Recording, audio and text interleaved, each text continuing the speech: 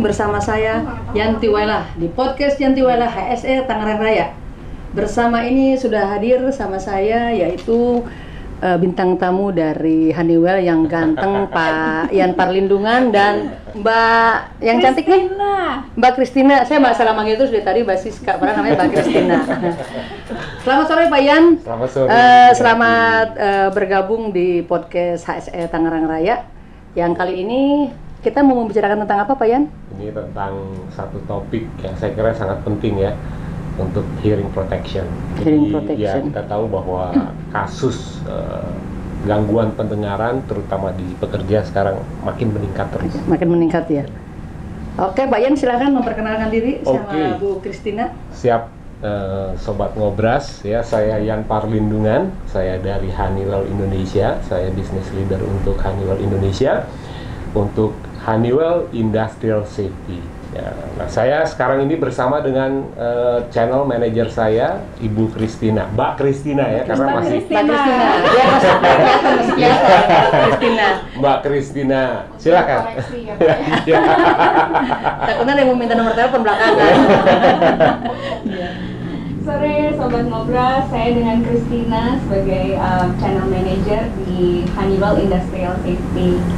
Senang sekali um, pada hari ini kita uh, ngumpul-ngumpul Ngobras namanya. Ngobrol asik. Ngobrol, ngobrol, ngobrol. ya, ngobrol apa nih? Ngobrol asik safety. Oh, ngobrol Iya, safety. ngobrol asik orang safety. Iya. gitu ya. Iya. Ngobrol. Soalnya kalau ngobras itu bahasa yang mudah dihafal karena di Betul, baju kita betul. pun ada diobras kan. Iya. Nah, itu. Ah, mantap. Jadi uh, biar ngobras. betul biar jadi clue-nya itu biar gampang diingat. Iya. Tentu Jadi- saja terima kasih ya Bu Yanti untuk opportunity-nya. Aduh sama Honeywell bisa ada di sini. Justru saya berterima kasih udah kedatangan Pak Yan nih udah jauh-jauh kalau kata Bang Setiadi kemarin kok kaget turun gunung. Oh, turun gunung ini jadi yang bercerita nih sekarang ini bosnya bukan bukan ya kan benar nggak Pak Yan? Bukan Karena hobinya mejeng. Senior banget udah senior banget ini. Duk. Jadi kalau ibarat bicara ilmu tentang eh, apa namanya APD nih udah Pak Yan ini sudah Kita sama-sama belajar ya. kepala ya. Kita sama-sama. Jadi hari ini kita mau bahas apa Bu Kristina? Ya, uh, seperti yang tadi Pak Yan udah uh, cerita sedikit uh, tentang hearing conservation ya. Jadi um, penting sekali untuk menjaga fungsi pendengaran kita karena uh, di dunia ini uh, yang saya tahu sekitar 16% dari uh, kejadian uh, kehilangan pendengaran pada orang dewasa itu terjadi karena paparan uh, suara bising di tempat kerja. Oh, jadi misalkan dia bekerja katakanlah di jadi operator genset selama berpuluh-puluh tahun, Iya. itu dia bisa kehilangan uh, pendengaran permanen ya. Hmm. Bukan bukan bukan te- bukan sementara tapi permanen. Jadi bagaimana si pekerja ini terhindar dari risiko kehilangan pendengaran permanen dengan menggunakan tadi apa Mbak Ida namanya ini?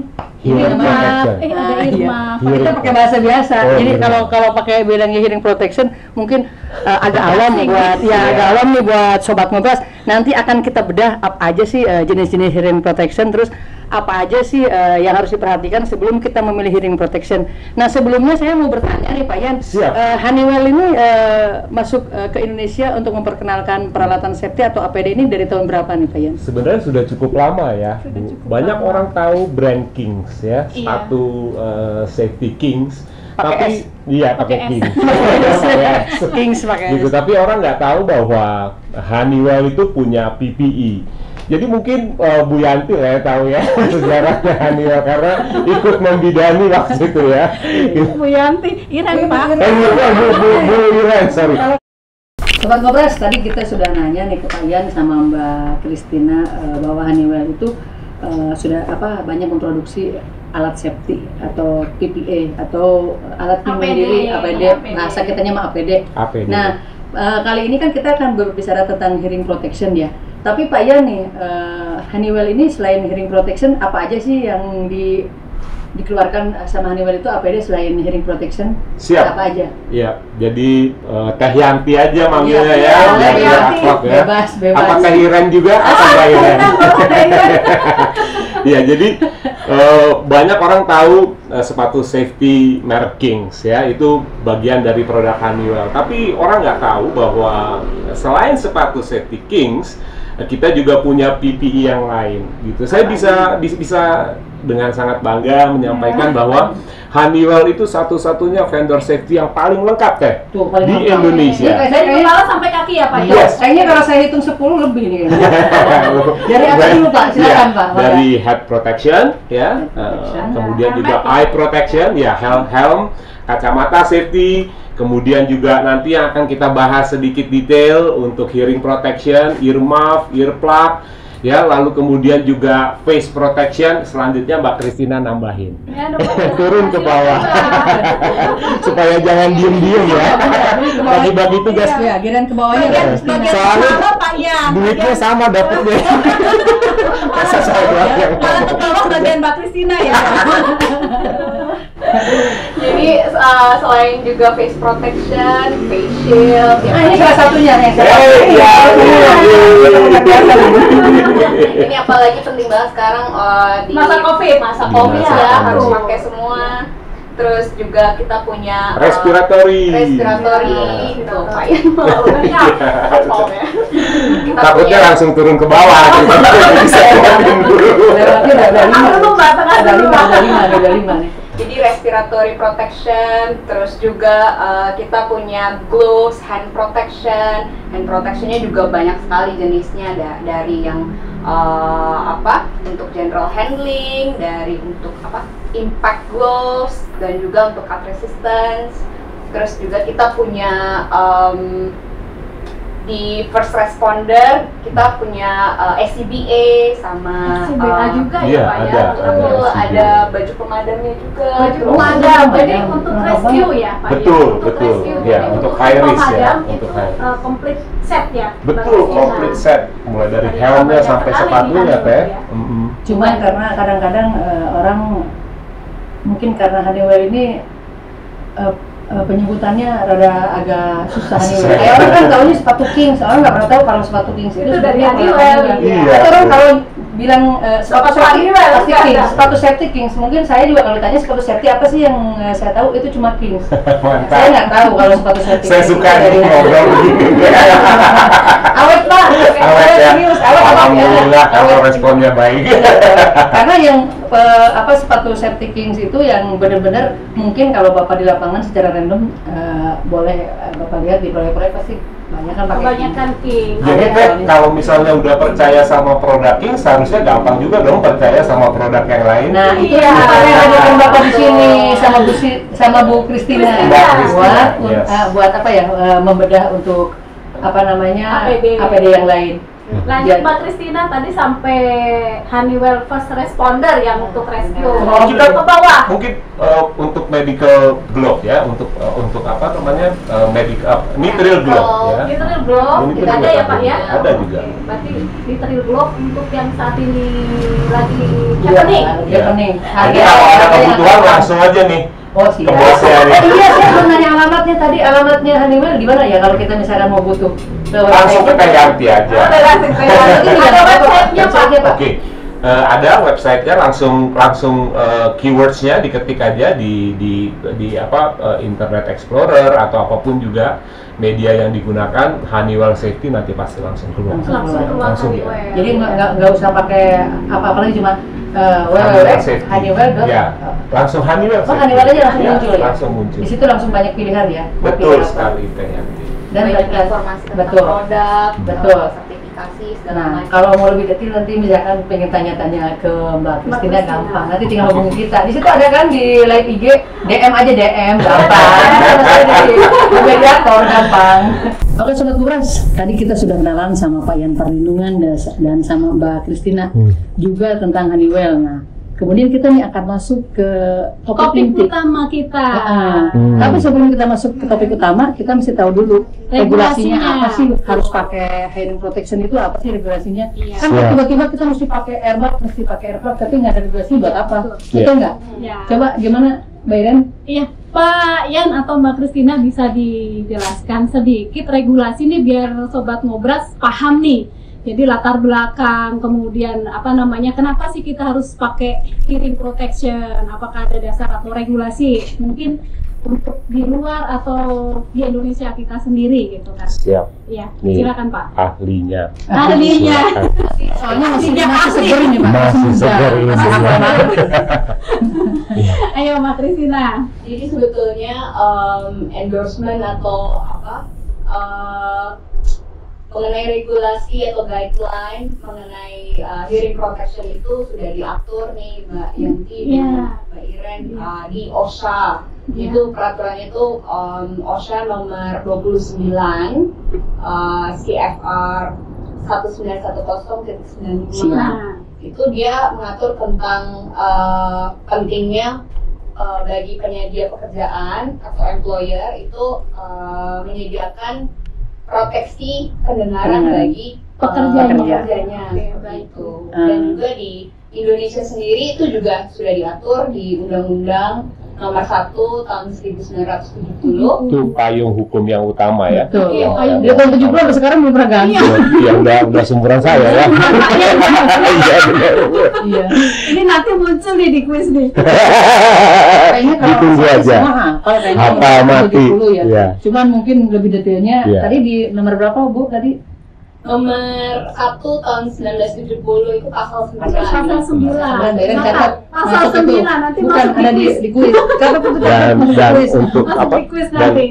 untuk penyedia pekerjaan ya eh, employer itu pasal 2 4 5 itu ada hukuman ya kalau misalnya tidak menyediakan eh, lingkungan ya bukan hanya aparatus tapi juga lingkungan berikut aparatus yang baik untuk para pekerjanya Iya. gitu. jadi kita cukup eh, tenang lah ya Indonesia memiliki payung hukum yang kuat untuk eh, setiap pekerja-pekerja di Jadi kepedulian pemerintah terhadap pekerjanya. Jangan Yes. sampai orang bekerja 20 tahun di industri, tahu-tahu nanti pendengarannya kurang. Diajak Ah. ngomong nggak nyambung, pakai bahasa isyarat. Nah, jangan sampai begitu.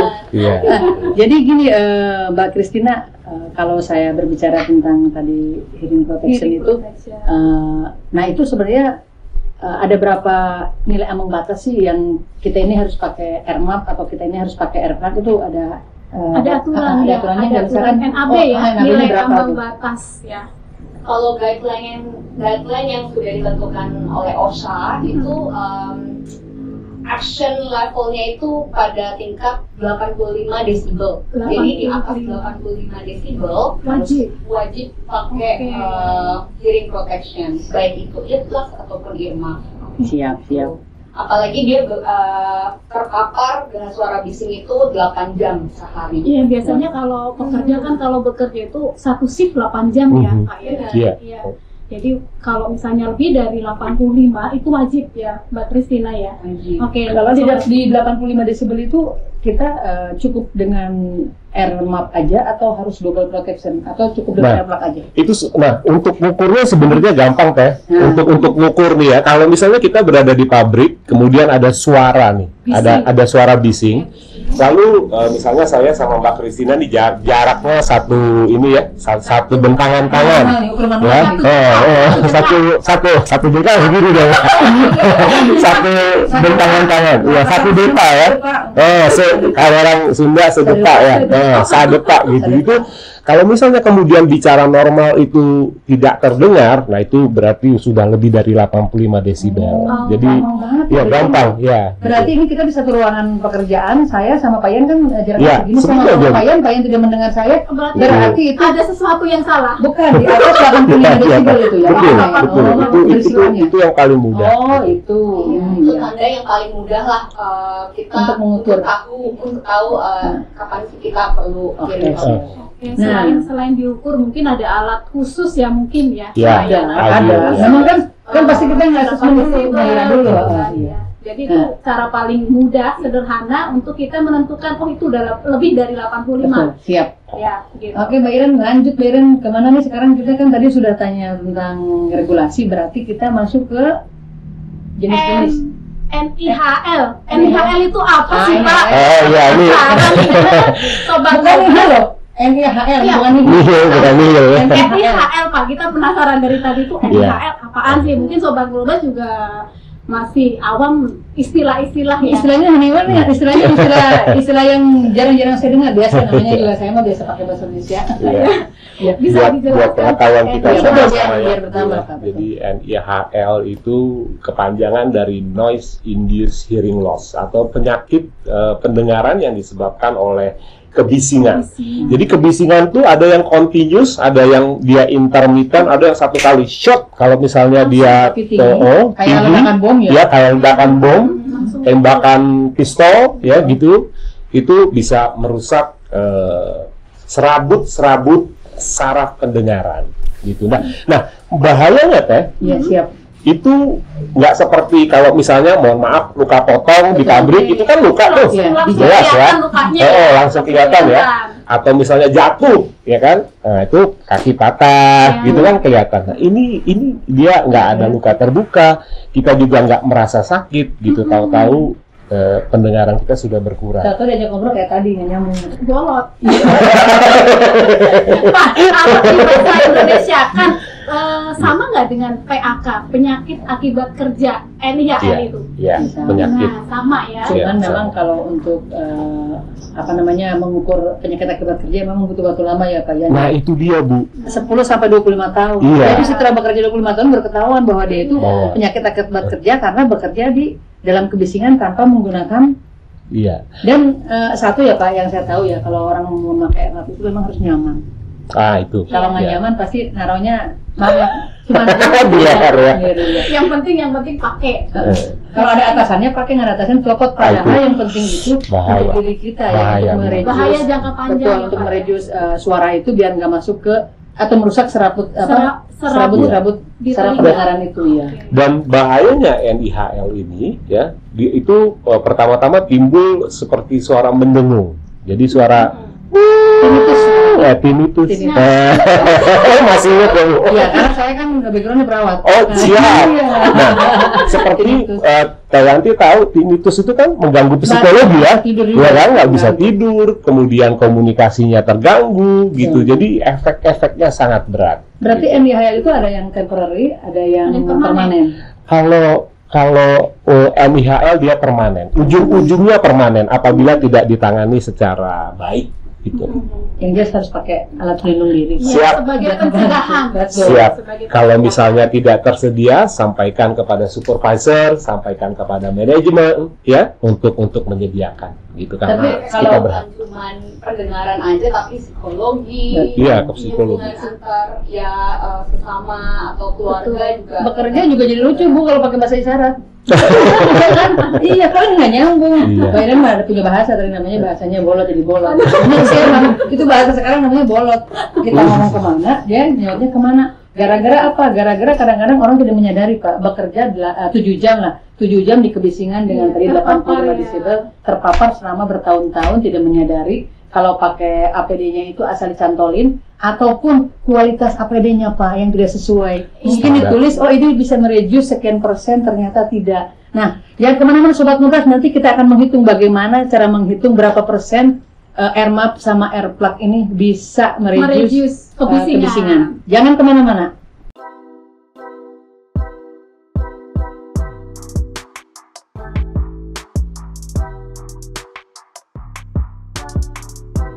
Well, introduction action.